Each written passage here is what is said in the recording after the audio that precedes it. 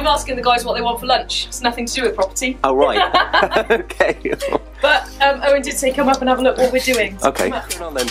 Well, uh, we're just uh, we've demolished the chimney stack, Which was coming into uh, this which was room. coming in, so we needed to set it back. So we just uh, we just put a lintel in, so we've got something to dot and dab to across the top, and we can tie the chimney stack back together. Oh, I see.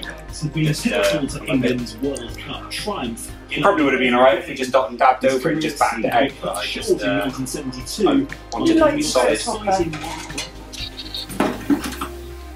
The realities of a site toilet. Yeah, yeah. They're, they're not. Yeah. What are we doing? There.